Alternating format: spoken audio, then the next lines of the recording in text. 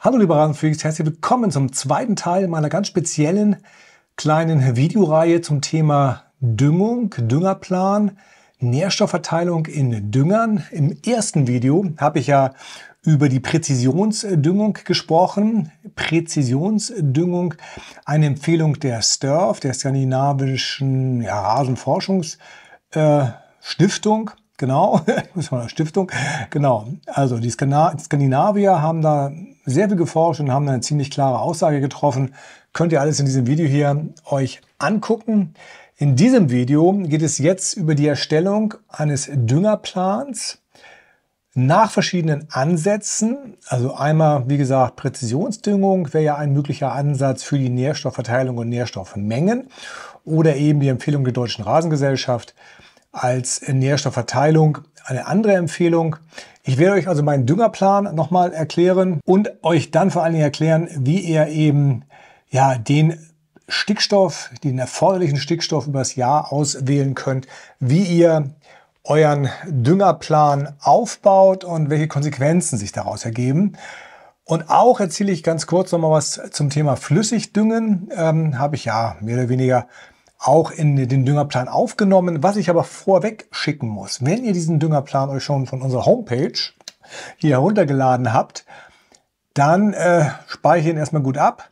Denn diese neue Version, die habe ich doch sehr stark verändert. Also da habe ich viele Sachen rausgeschmissen, viele Sachen umsortiert, äh, den Plan erweitert. Ähm, da ist jetzt mehr Detaillierungsgrad drin, was die Nährstoffmengen angeht. Also, wenn ihr mit eurem alten Plan gut zurechtgekommen seid, guckt euch erst kritisch den neuen Plan an, bevor ihr das Ding updatet. also das dazu. Und wie gesagt, wer ihn schon einmal gekauft hat, kann jederzeit auch sich das neueste Update kostenlos holen. Und wer ihn noch nicht gekauft hat, der muss halt ein paar Euro ausgeben. Okay, also darum geht's heute. Wir steigen jetzt ein, kurzes Intro und dann viel Spaß mit dem Video.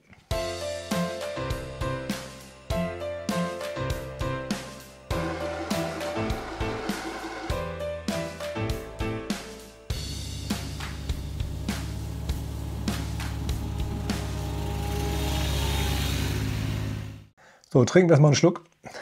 Ich weiß gar nicht, wie man. Also, irgendwie ist die Tasse verkehrt. Ne? Also, eigentlich müsste ich sie genau andersrum raufdrücken. Oder ich müsste zum äh, Linkshänder mutieren. Also, ne? also jetzt trinken wir mal so. Mm. Dass ihr auch mein Logo seht. Also, Rasenfreak-Tasse. Kann man auch kaufen. Im Shop. ich mache mal ein bisschen Werbung.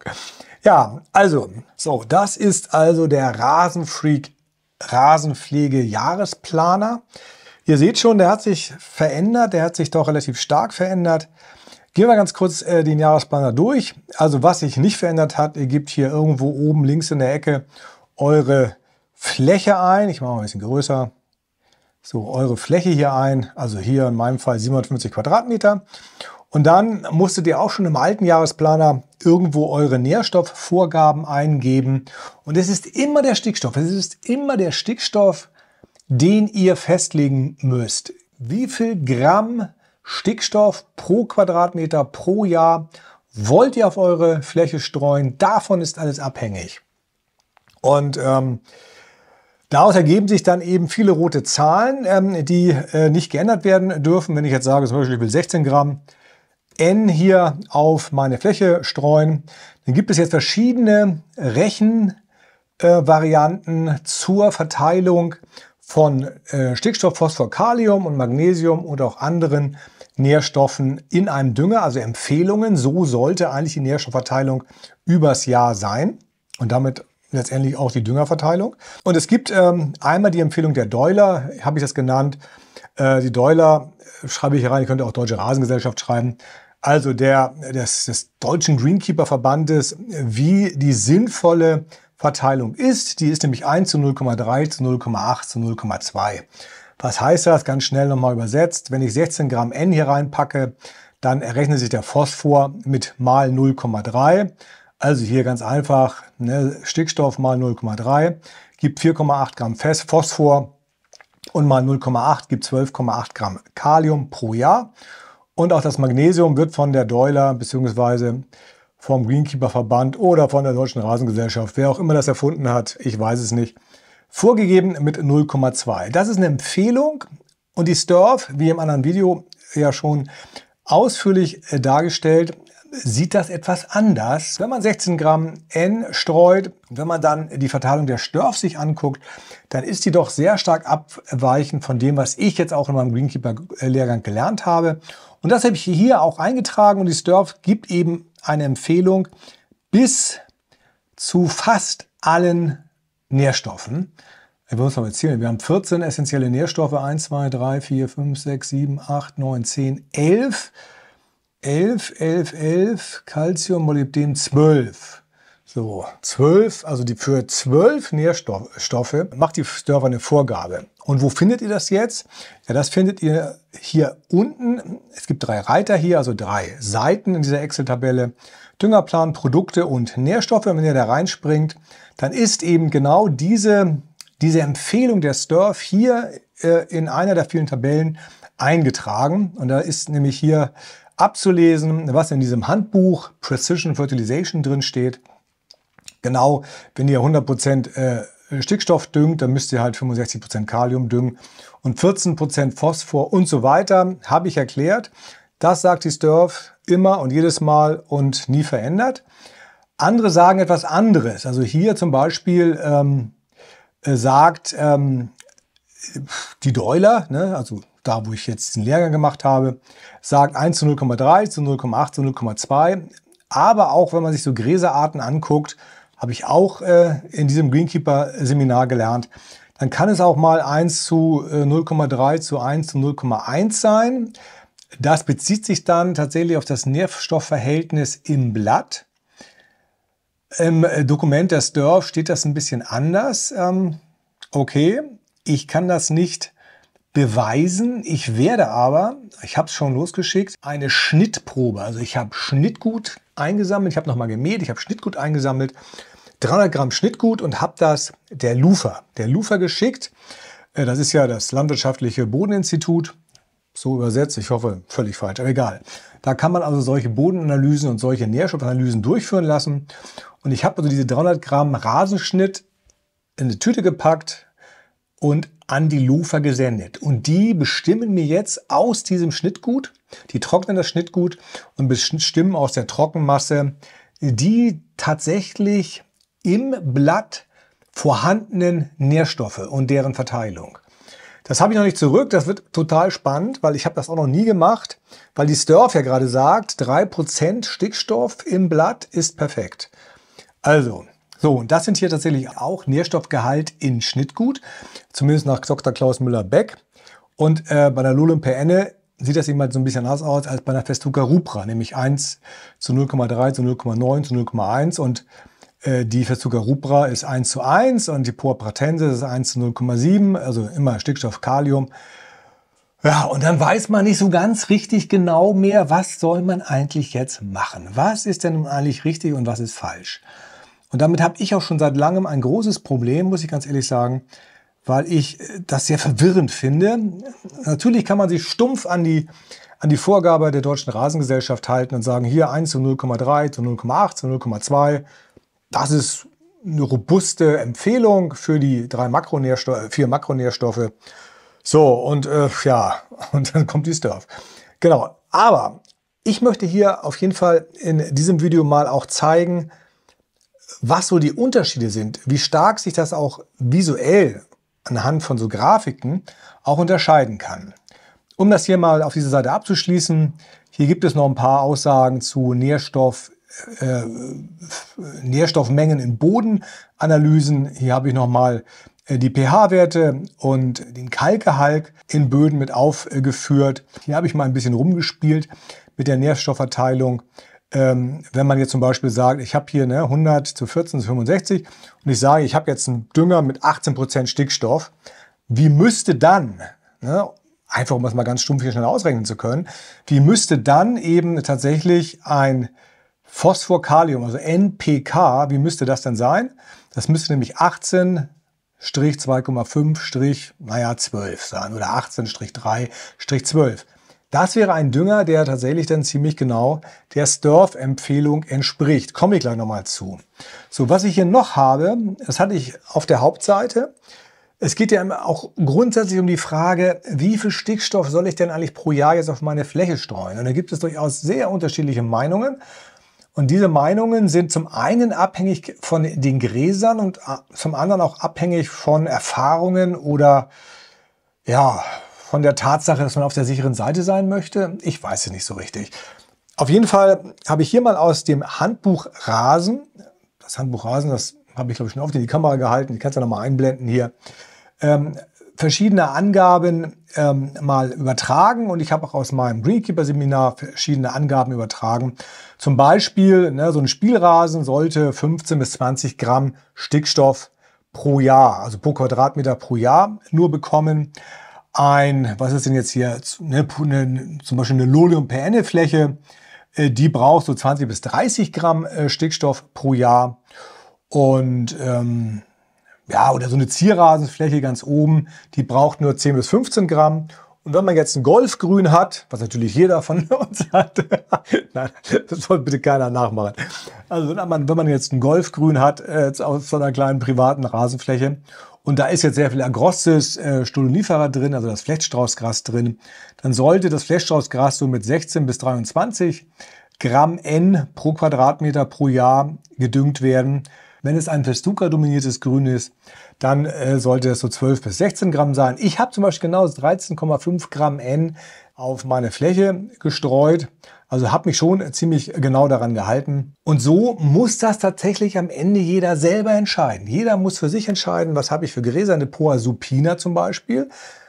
Die braucht mindestens 30 Gramm N pro Quadratmeter pro Jahr, ähm, damit die gut wächst. Ähm, ihr kennt äh, die Aussagen meiner Kollegen.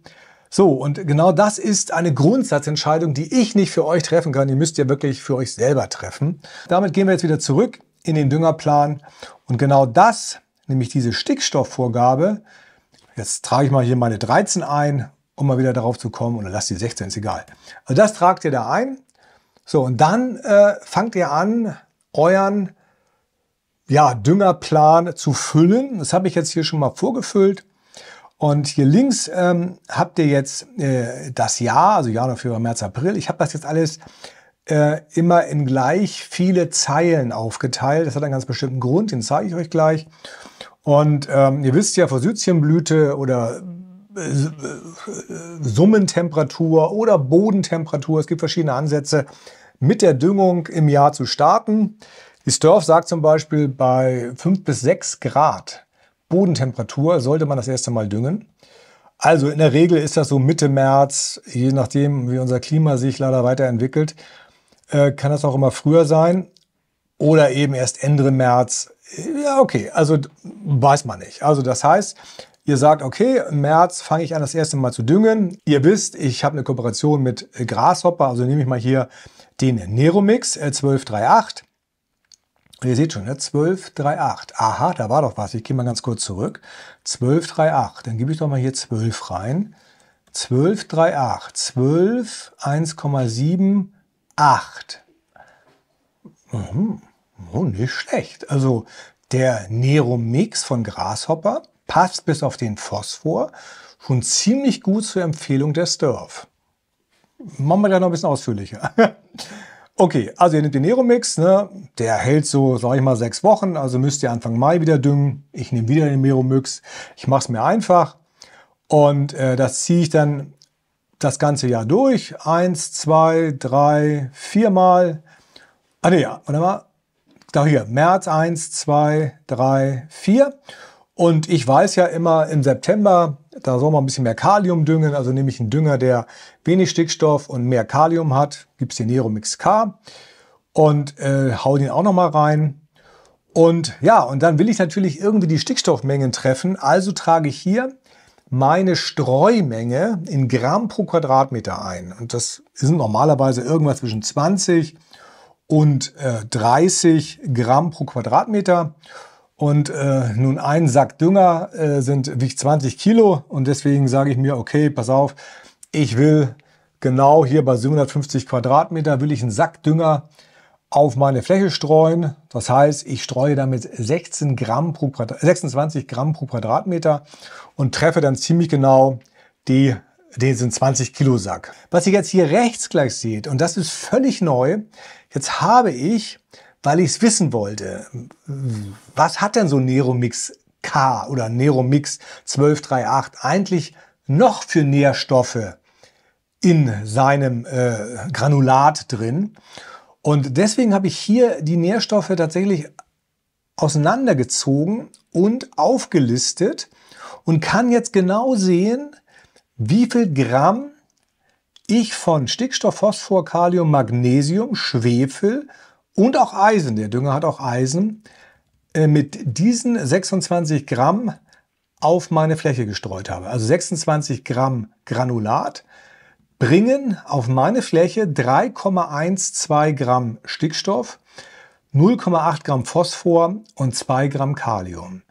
Und das fand ich halt so unheimlich interessant, mal zu wissen, ja Mensch, was, was bringt mir der Dünger eigentlich? Wenn ich jetzt zum Beispiel, jetzt machen wir mal einen anderen Dünger, jetzt machen wir mal was anderes, jetzt nehmen wir mal auch einen mit, nehmen wir jetzt mal hier so ein, ja, ist egal, hier Basatop Spezial.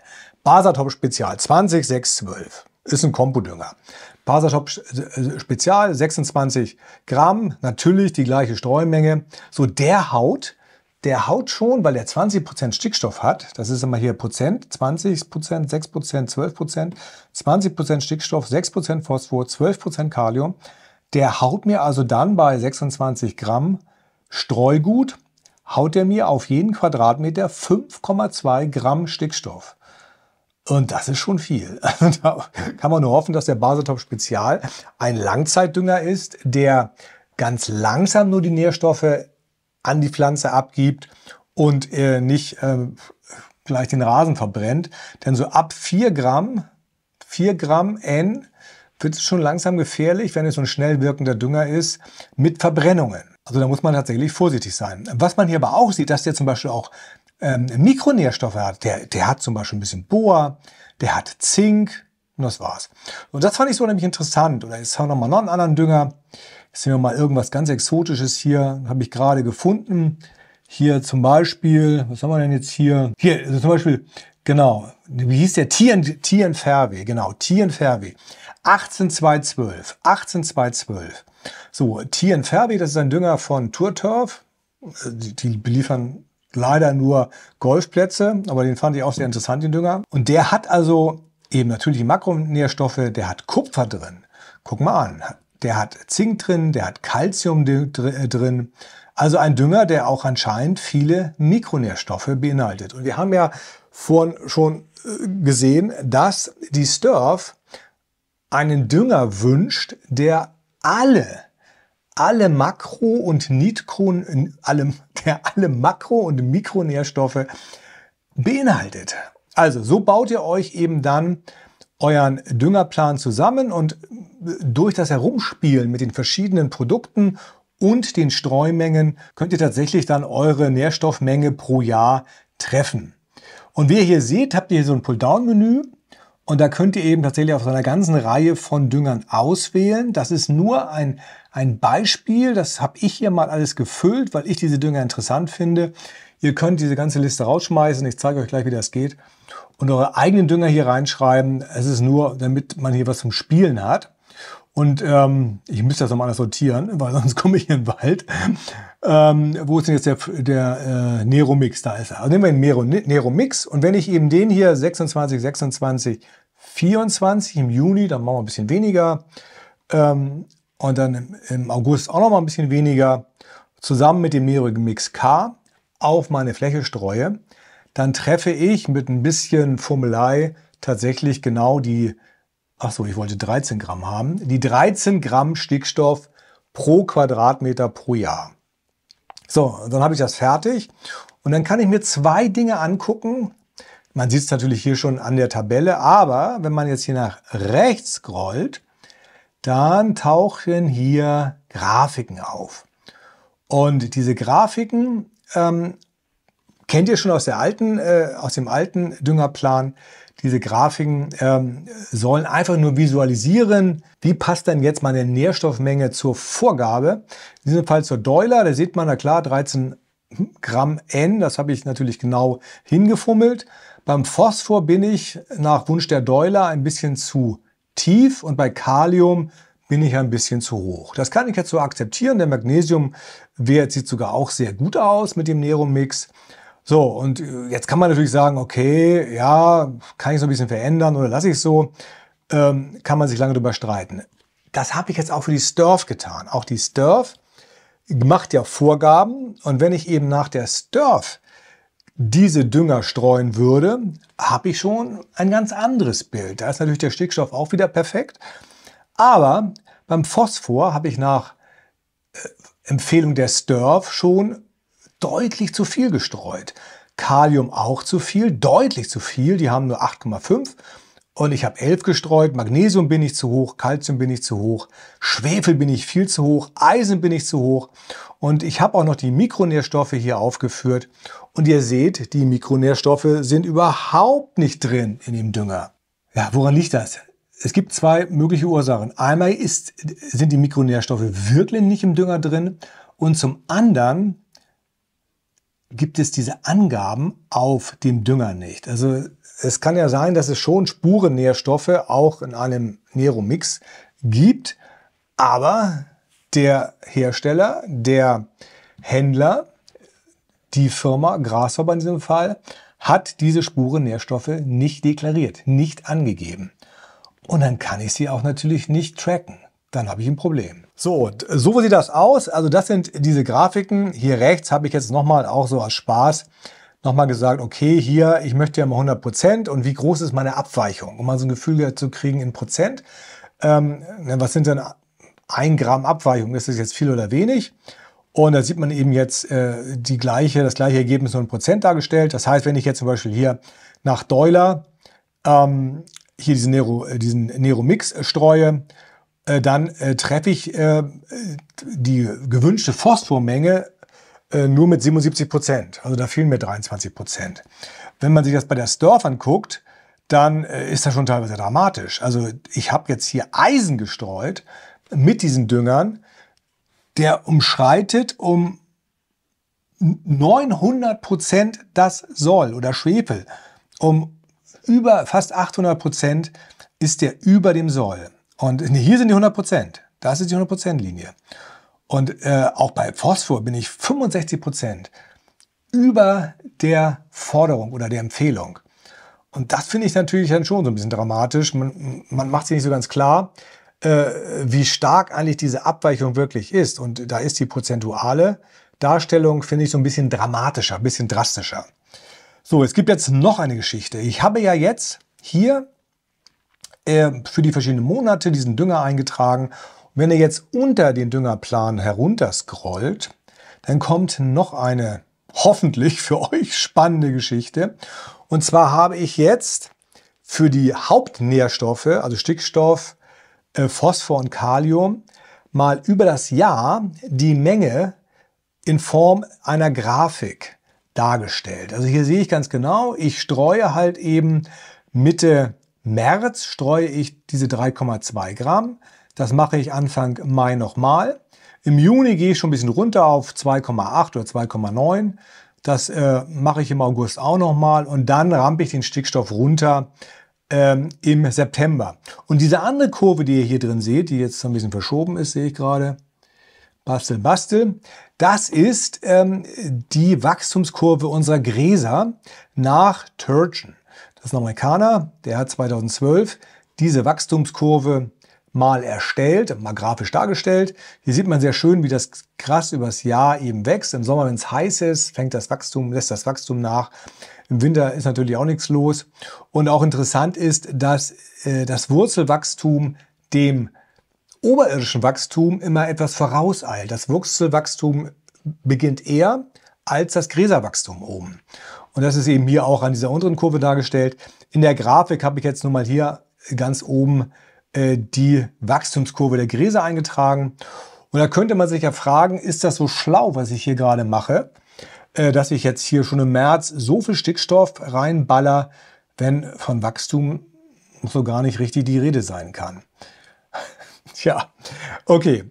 So, und ähm, was man aber auch noch hier an dieser Grafik ablesen kann, ich habe ja so eine gewisse, ja, ein, ein gewisses Level übers Jahr.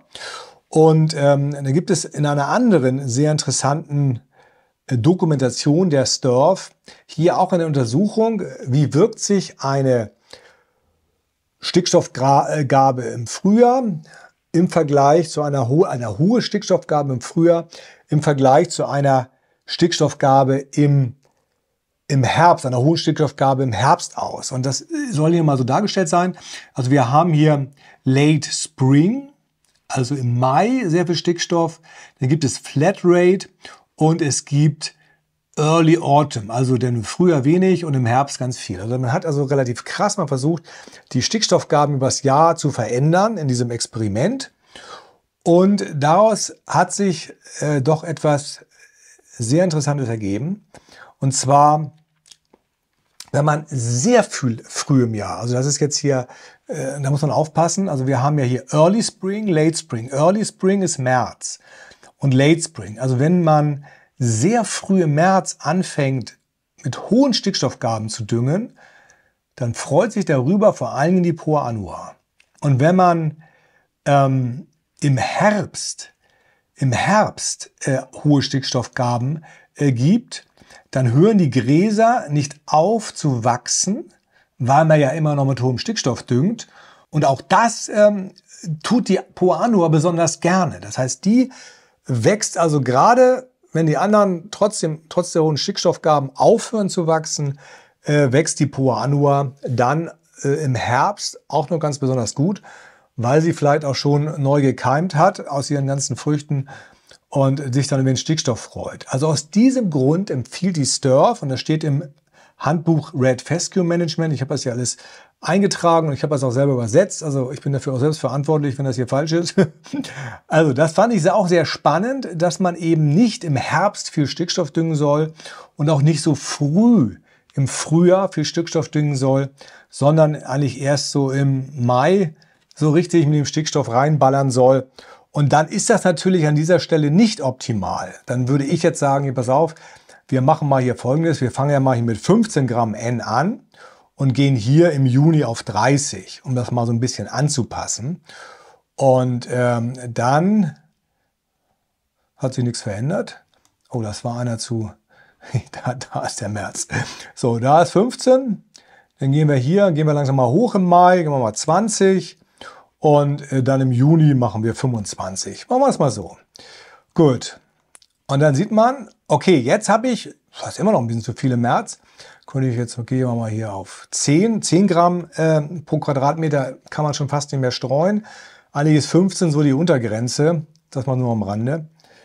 Und, aber trotzdem, um mal diese Kurve mal ein bisschen besser zu treffen, haben wir jetzt hier tatsächlich ähm, im März eine geringe Stickstoffgabe, im Mai, Juni richtig viel und im August sollten wir schon wieder runtergehen. Also da müssen wir schon wieder runtergehen, also machen wir auch hier nur 20. Wir wollen ja ne, Mai, das heißt Mai, dann könnten wir hier auch 25 reinhauen. Und hier gehen wir im August wieder runter. Und im September ist aufgrund des anderen Düngers sowieso äh, nicht viel Stickstoff mehr drin. Und dann passt das eben schon so ein bisschen in dieser, zu dieser Idee, erst im späten Frühjahr, also Mai, Mai am besten, Mai, Juni, äh, besonders viel zu düngen, um zu verhindern, dass die Poa annua nicht dominiert. genau. So. Und jetzt äh, kommen wir zum letzten wichtigen Punkt und das sind nämlich die Dünger, die äh, ja, wir verwenden oder verwenden wollen. Und ähm, das ist hier auf dem zweiten Blatt dieser Excel-Datei drin. Also erster Blatt Düngerplan, zweiter Blatt Produkte, also Dünger. Und dritter, drittes Blatt die Nährstoffempfehlungen. Und hier habe ich eben halt, ähm, und ich habe diese Tabelle auch sehr stark zusammengefasst, die war mir viel zu umfangreich. Ich habe das also doch ein bisschen zusammengeschoben. Ich habe jetzt hier tatsächlich viele Dünger eingetragen. Äh, hier stehen die ganzen Dünger drin und hier ist noch ein bisschen Platz. Hier kann man auch noch weitere Dünger unten eintragen. Und ähm, das sind so Dünger, die ich im Laufe der Zeit mir mal angeguckt habe. Und für diese Dünger habe ich dann auch die wesentlichen Informationen in diese Tabelle eingetragen, ob das jetzt hier der Hersteller ist, ob das jetzt ein Flüssigdünger ist oder ein Langzeitdünger, wie die Korngrößenverteilung ist in diesen Düngern. Je feiner das Korn, desto besser fällt der Dünger in die Grasnarbe rein, was der Hersteller empfiehlt und auch wie viel, welche Wassermenge pro 100 Quadratmeter empfohlen wird. Und jetzt kommen wir ganz schnell mal zum Thema Flüssigdüngung. Also wir haben jetzt zum Beispiel hier, also man kann das hier auch äh, sortieren, übrigens nach, äh, nach Hersteller zum Beispiel, oder jetzt kann, man es auch nach Dünger alphabetisch sortieren. Äh, deswegen sind oben hier die Sortierfunktionen drin, die Grasshopper-Dünger. Firma Grasshopper ist seit 2007 mit ihren Produkten im Profibereich unterwegs. Ihre Mission ist eine sinnvolle Rasenpflege im Einklang mit der Natur. Wir haben einen einfachen und nachhaltigen Düngeplan entwickelt für euch, den ihr selbstverständlich kostenlos von unserer Homepage herunterladen könnt. Also schaut mal bei uns auf der Homepage nach oder bei Grasshopper im Shop nach. Da ist der Pflegeplan auch für euch verfügbar. Und zum Schluss möchte ich euch noch auf den 5% Rabattcode hinweisen, der ab sofort dauerhaft zur Verfügung steht. Rasenfreak 5. Also schaut mal im Shop nach. Yeah. Okay, da haben wir ja auch Flüssigdünger und zwar haben wir ja hier den, wo ist denn der? Die äh, Meeresalge, die Meeresalge, die Meere, konzentrierte Meeresalge, natürlich, da haben wir sie. Die konzentrierte Meeresalge von Grashopper ist ein Flüssigdünger, also gibt es keine Korngröße. Und die Empfehlung ist hier, und da müsst ihr jetzt genau oben äh, in, die, in die Überschrift gucken, Milliliter pro 100 Quadratmeter. Das heißt, ich habe jetzt hier, wenn es flüssig ist, die Milliliter pro 100 Quadratmeter eingegeben. Das heißt, ähm, Ihr müsst von diesem Zeug, von der konzentrierten Meeresalge, müsst ihr 200 Milliliter auf 100 Quadratmeter äh, verwenden. Und das müsst ihr mit 3 Liter Wasser für 100 Quadratmeter äh, mischen.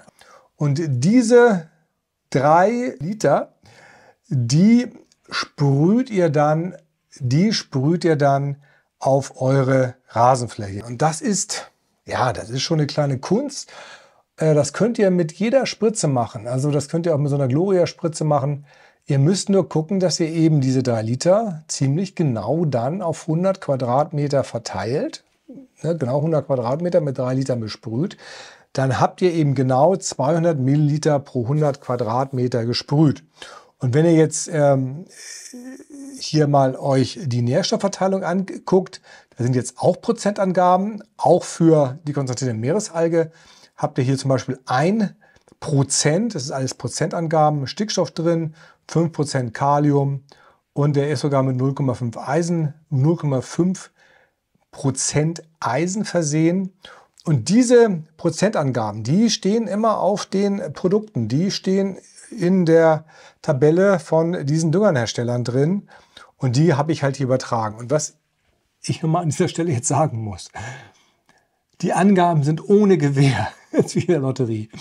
Also ich habe mich bemüht, hier natürlich nicht irgendwelche Fehler einzubauen, aber ich bin nicht sicher, ob das jetzt alles richtig ist. Also wenn ihr diese Tabelle nutzt, dann schaut euch nochmal die Dünger an, überprüft, ob hier die Angaben, vor allem diese Nährstoffangaben in Prozent, ob die wirklich stimmen.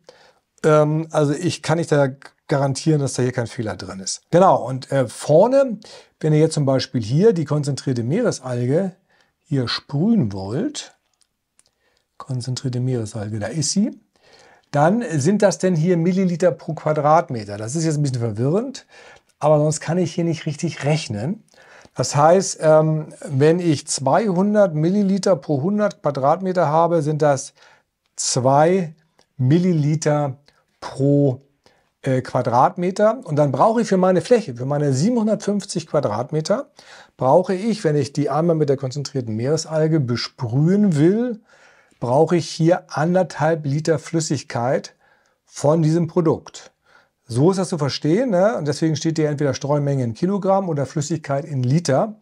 Das heißt, und ihr braucht natürlich für 750 Quadratmeter, ähm, da muss ich aufpassen, das sind mal drei, äh, sieben, 7,5 mal 3, das kann ich im Kopf rechnen. Das sind äh, 15 äh, plus 7,5 sind 22,5 Liter. Das heißt, ich muss einen Behälter mit 22,5 Liter füllen und kann damit genau meine, 100, meine 750 Quadratmeter besprühen. Und dann sollte auch der Behälter leer sein. Das ist ein bisschen tricky mit dieser Flüssigdüngung.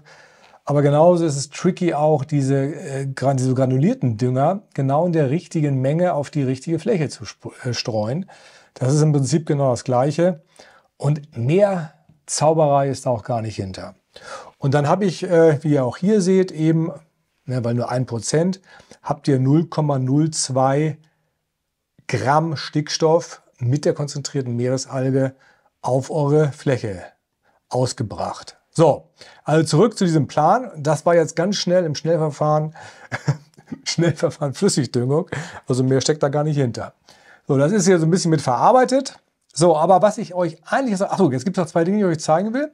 Also ihr könnt erstmal hier auch vorne nach äh, Dünger sortieren, dann habt ihr das in alphabetischer Reihenfolge. Und wenn ihr hier vorne im Düngerplan jetzt das Pull-Down-Menü öffnet, ist das hier auch in alphabetischer Reihenfolge. Also da, könnt, da würde ich jetzt eben nicht so lange suchen müssen, wenn ich jetzt äh, den Nero-Mix äh, äh finden würde, wollte. So, und jetzt ist natürlich die entscheidende Frage, ich will ähm, die Präzisionsdüngung der Sturf umsetzen. Ich, der Rasenfreak, werde jetzt präzise düngen, genau nach der Vorgabe der Sturf. Und dafür brauche ich jetzt natürlich den richtigen Dünger, der genau in dieser prozentualen Verteilung die Nährstoffe drin hat.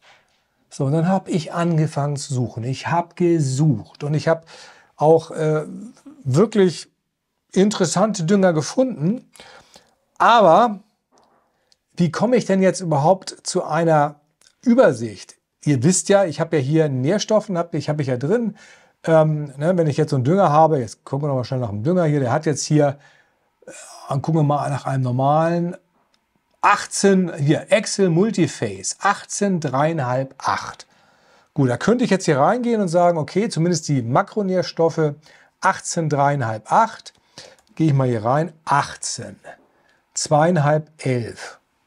Passt nicht. Ja, das geht nicht. Es ist viel zu fummelig. Und vor allem, wenn ich das mit den Mikronährstoffen noch machen will, dann drehe ich hier durch. Und deswegen habe ich hier hinten am Ende, hinter dieser Nährstoffverteilung, noch eine ganz wilde Tabelle angefügt. Und zwar diese äh, Tabelle überprüft jetzt, ob die Dünger, die hier in der Liste drin stehen, einer bestimmten Vorgabe entsprechen. Und jetzt fangen wir mal, jetzt machen wir es mal anders. Jetzt fangen wir mal, ich habe hier schon Sturf drin stehen, jetzt machen wir mal Doiler. Jetzt nehmen wir hier Doiler rein. Und wir wissen ja, Doiler, jetzt habe ich hier ein Leerzeichen zu viel, das ist egal. Doiler war ja ähm, 1 zu 0,3, also 30 Prozent, zu 0,8, also 80 Prozent, zu 0,2, also 20 Prozent. Und die restlichen Nährstoffe sind nicht vorgegeben. So, und jetzt sehe ich hier, und jetzt müssen wir noch eins machen, damit es äh, nicht ganz so unübersichtlich wird. Jetzt gucken wir uns nur die Dinge an, die überhaupt Nährstoff, äh, Nährstoff im Produkt drin haben. Es gibt nämlich auch natürlich Kalk oder sonstige Dinge, die ich hier mit eingetragen habe. Äh, die haben natürlich keinen Nährstoff, also kann ich jetzt natürlich hier auch nach dem Nährstoff filtern, in diesem Fall absteigend ähm, filter ich jetzt nach dem Nährstoff. Und jetzt ist der Dünger mit dem meisten Nährstoff, nämlich mit 27% N, ist jetzt hier ganz oben. Und jetzt gehen wir wieder nach rechts. Könnt ihr hoffentlich alles in Ruhe nochmal nachvollziehen. Und jetzt sind halt hier oben alle Dünger aufgeführt, die Stickstoff im Produkt haben. So, und hier sieht man jetzt ganz viele rote Felder und ihr könnt jetzt in diesem Fall nur diese drei ersten Spalten euch betrachten, weil hier nichts drin steht. Also, wir wollen einen Dünger haben, der, wenn er 100% Stickstoff hat, 30% Phosphor, 80% Kalium und 20% Magnesium, entsprechend der Empfehlung der Deuler. So, und jetzt gucke ich hier, welcher Dünger hat das denn? Und ich habe, um überhaupt einen Dünger zu finden, der so halbwegs, so halbwegs passt, habe ich den Streubereich, den Streubereich, die Abweichung auf plus minus 30 Prozent gesetzt vom Sollwert. Plus minus 30 Prozent, sonst hätte ich hier überhaupt nichts gefunden. Ich sage es ganz ehrlich. Und wenn ich aber das mache, dann finde ich tatsächlich hier einen Dünger, der an allen drei Stellen rot ist, also der an allen drei Stellen mit einer Genauigkeit von plus minus 30 Prozent dieser Vorgabe der Deuler entspricht. Und das ist zufälligerweise, es ist wirklich Zufall, der Neromix von Grasshopper. Und so kann man dann tatsächlich mit dieser Tabelle hier hinten auch schauen, ob diese Dünger, die man streuen will, die man ja vielleicht auch nicht variieren will, ob diese Dünger gut zur Vorgabe passen. Und damit ich jetzt nicht hier durchdrehe, habe ich hier unten nochmal die anderen Werte eingetragen. Und äh, greife mir jetzt mal hier von der Sturf nochmal die Werte, übertrage sie nach hier oben und ähm, habe ein anderes Bild, ein ganz anderes Bild. Also, und jetzt müsste eigentlich, wenn es jetzt den perfekten Dünger gibt für die Präzisionsdüngung der Sturf, müsste es jetzt hier in einer Zeile alles rot sein. Und den gibt es nicht. Diesen Dünger gibt es nicht. Und ich frage mich, warum. Das äh, versuche ich gerade zu klären. Ich habe nämlich die Sturf angeschrieben, habe gesagt, ey Leute, ihr habt so eine, ein tolles Handbuch rausgegeben und äh, ich würde jetzt genau so einen Dünger kaufen, der eurer Empfehlung entspricht. Finde ich nicht. Könnt ihr mir da helfen? Ja, liberale Freaks, und sie haben tatsächlich geantwortet. Die Sturf hat geantwortet. Äh, wie cool ist das denn? Vielen Dank der Maria, der Chefin der Sturf, dass sie meine E-Mail an ihre Mitarbeiter weitergegeben hat. Und die haben mir tatsächlich geschrieben. Die haben sogar in Deutschland über die äh, über den Greenkeeper-Verband nachfragen lassen, ob es wirklich nicht irgendeinen passenden Dünger in Deutschland gibt. Gibt es leider nicht. Aber es gibt in Schweden, in Schweden gibt es ein Produkt, einen Flüssigdünger, der tatsächlich alle Nährstoffe enthält in einer ja, ziemlich guten Zusammensetzung, ziemlich dicht an der Vorgabe der Sturf dran. Und das zeige ich euch jetzt als letztes hier in diesem ewig langen Video.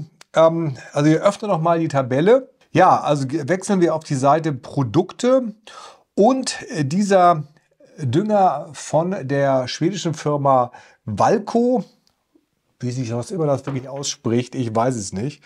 Knack, knack.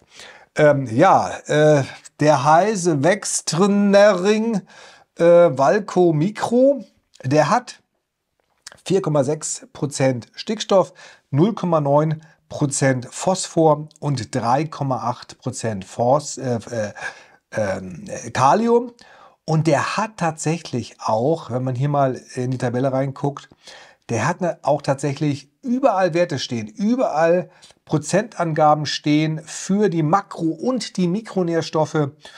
Und ähm, ja, und wenn ich jetzt den hinten in meiner Tabelle mal betrachte, also hier, ich mache die Zeile nochmal dunkel, wenn ich den hier betrachte, dann sind tatsächlich extrem viele Felder rot. Das heißt, der Dünger passt mit einer Abweichung, ich habe es schon gesagt, von plus minus 30 Prozent ziemlich gut zu der Vorgabe der Sturf. Und ich kann es noch mal ein ganz bisschen größer machen, dass man das noch besser sieht hier. Genau, so. Also der hat, ähm, eine Vorgabe ist 14 Prozent, der hat 19,5 Prozent Phosphor, das ist ein bisschen zu viel. Der hat 82% Kalium, Soll ist 65%, hat auch ein bisschen so viel Magnesium, weniger Schwefel als gewünscht. Das Bohr passt sehr gut, Kupfer passt auch sehr gut, Eisen ist zu gering, was ich aber gar nicht schlecht finde, denn ich möchte schon mit meinem Eisen-2-Sulfat auch dann ab und zu mal vielleicht gegen die Pilzinfektionen ankämpfen können, ohne das Eisen zu stark anzuheben. Magan passt nicht schlecht und äh, Zink passt auch äh, ziemlich gut. Und das Calcium äh, mit 5,6 ist ein bisschen unter dem Sollwert von 7. Ja, finde ich auch nicht schlecht. Ähm, mein pH-Wert ist ja relativ hoch, also den muss ich nicht noch weiter äh, erhöhen. Das äh, ist gar nicht so verkehrt. Das Molybden ist tatsächlich ein bisschen zu hoch dosiert, aber in einer ja, minimalen Menge. Das soll 0,003 Prozent haben im Dünger und es hat jetzt hier 0,0076 Prozent. Also das ist ein bisschen zu hoch, aber spielt keine Rolle. Ja, um jetzt diesen Dünger nochmal ja, zu optimieren, habe ich jetzt auch lange überlegt, was tue ich. Der ist jetzt gerade vom Phosphor und vom Kalium doch noch ein bisschen zu hoch. Und das heißt, ich könnte jetzt ja einfach einen Stickstoff, einen Stickstoffdünger dazu mischen äh, da habe ich jetzt äh, noch nicht so das ganz perfekte Produkt gefunden. Aber ich habe ähm, hier mal eine Variation gerechnet und zwar habe ich den X1 genannt. Den Rasenfreak X1, also den äh, Spezialdünger, der genau, naja, nicht, aber der ziemlich gut den Vorgaben der Sturf entspricht. Und ähm, da habe ich Folgendes gemacht. Ich habe tatsächlich ähm, nur zwei Produkte gemischt. Nämlich, ich habe einmal hier den, äh, den Valco äh, Mikrodünger äh, gemischt und von Lebosol. Das ist eine deutsche Firma, die auch sehr interessante ja, Einzelprodukte auch für auch die Landwirtschaft anbietet. Ein Lebosol, der heißt Nutriplan 36. Der hat immerhin 27% Stickstoff und den habe ich gemischt im Verhältnis 95% Valco-Dünger und 5% äh, Lebosol-Dünger, also 5% Nutriplant und äh, 95% Wextrenäring. Und dann komme ich jetzt mit meinem Stickstoffgehalt von 4,6 auf 5,7. Also der X1. Und wenn ich mir den jetzt nochmal angucke, das kommen wir nochmal nach rechts, der hat auch hier, übrigens der Nutriplan, der hat auch ein bisschen Magnesium. Das ist ein kleines Problem. Ich müsste mal gucken, ob ich noch was anderes finde. Hat Bohr und hat auch Kupfer und Mangan ähm, und Zink. Das äh, schauen wir uns jetzt mal an. So, und der X1, also den will ich mir jetzt anschauen, meine Mischung will ich mir anschauen, also flüssig. Der hat jetzt eine Nährstoffmenge von 15% Phosphor, also ne, bezogen auf 100% Stickstoff hat er 15% Phosphor, soll 14, also passt schon ziemlich gut, hat 63 Prozent Kalium, soll 65, passt auch ziemlich gut. Hat tatsächlich ein bisschen zu viel Magnesium, obwohl man muss ja wissen, ne, das Zentralelement im Chlorophyll ist das Magnesium, also ein ganz wichtiger Nährstoff. Ja, ein bisschen zu hoch, den kriege ich auch nicht richtig runter. Schwefel ist ein bisschen tief, das macht aber auch nichts, weil ich nach meiner Bodenanalyse tatsächlich sehr viel Schwefel auch im Boden noch drin habe. Kupfer ist ziemlich gut. Ähm, Eisen ist, wie gesagt, auch äh, etwas zu gering. Mangan ist auch ein bisschen gering. Zink ist auch ein bisschen gering. Also das wird alles ein bisschen geringer durch diese Beimischung des äh, vor allen Dingen Stickstoffs. Und das stört mich aber jetzt nicht so sehr. Molybden geht dann auch ein bisschen runter. Wenn ich jetzt diesen Dünger, wenn ich jetzt diesen Dünger auch nach dem Sturf Düngerplan übers Jahr in meinen Jahresplaner einbaue. Das habe ich hier mal gemacht, nach langem Hin und Her, nach langem Rumgefunden, habe ich den X1 hier eingebaut und habe gesagt, okay, also jede Woche düngen, das schaffe ich nicht. Aber alle zwei Wochen düngen, das ist ja ein hartes Ziel, das kann ich vielleicht schaffen. Also alle zwei Wochen flüssig düngen mit diesem X1, der Kombination aus diesem schwedischen Dünger, vorausgesetzt, ich kriege den. Und oh, läuft. Man kriegt so Panikattacken, dass irgendwas nicht funktioniert. Und diesem äh, von Nutriplan, also diesen äh, Lebosoldünger Nutriplan, ähm, in der Mischung habe ich also jetzt hier alle zwei Wochen gedüngt und dann auch so steigernd bis in den November hinein, genau wie das die Store vorschreibt. Und das sieht man jetzt hier unten auch sehr schön an dieser Düngerverteilung. Also das sieht schon ziemlich krass aus. Also genau so soll es nach Sturf sein. Und ich habe jetzt gesagt, okay, 11,7, 12 Gramm N übers Jahr ist nicht schlecht. Äh, ich habe ja nicht nur die Festuca drin, ich habe noch ein paar andere Gräser drin. Also ein bisschen mehr Stickstoff kann an der Stelle vielleicht nicht schaden. So, und jetzt gucken wir uns mal hier und natürlich jetzt nur die, das Chart der Sturf an. Ja, und das sieht natürlich schon richtig gut aus. Ne? Also hier äh, Stickstoff klar passt. Phosphor 1,6 zu 1,8, ein ganz bisschen zu viel. Kalium ein ganz bisschen zu wenig. Magnesium passt auch eigentlich ziemlich gut. Calcium, Schwefel und so weiter. Auch die äh, Spurennährstoffe sind ein bisschen niedriger dosiert, als das soll. Das stört mich jetzt nicht so sehr, weil ich eigentlich darauf nie geachtet habe. Und wenn man jetzt hier nochmal die prozentuale Verteilung anschaut, also ne, 100 Prozent wäre immer perfekt die Vorgabe der Sturf getroffen, dann sieht das tatsächlich wirklich nicht schlecht aus. Und ich finde, mit dieser Kombination bin ich schon richtig cool rangekommen an das Ziel der Sturf. Gut, Molybden äh, sticht so ein bisschen hervor. Magnesium, wie gesagt, ist mit 40 Prozent zu viel äh, hier drin. Eisen kann ich noch nachdüngen über äh, eine, eine Spezial, äh, Spezialanwendungen. Ja, also ganz perfekt ist es nicht, aber es ist zumindest ein sehr interessanter Ansatz. Ob ich das jetzt nächstes Jahr mache, das äh, verrate ich heute nicht. ihr könnt mich gerne abonnieren, wenn ihr mögt. Äh, verfolgt mich weiter. Äh, nächsten Jahr wird es, glaube ich, richtig spannend. Ich werde mich noch weiter schlau lesen über diese ganze Thematik. Ich habe auch noch ein paar ganz äh, ja, erfahrene Kollegen angeschrieben und gefragt, wie die das so sehen. Also hier ist ganz viel los beim Rasenfreak. Und ihr könnt jetzt eben diesen Düngerplan auch kaufen, wenn ihr wollt. Schaut in unseren Shop rein. Und ich hoffe, wir sehen uns beim nächsten Mal im nächsten Video. Ich weiß noch nicht, was kommt, aber ich hoffe, es bleibt spannend. Dank, ja, ja, es kommt die, das Ergebnis, fällt mir jetzt gerade ein.